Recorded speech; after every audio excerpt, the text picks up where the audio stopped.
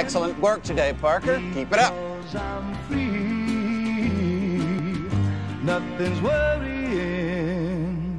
no. Mr. Aziz's pizza.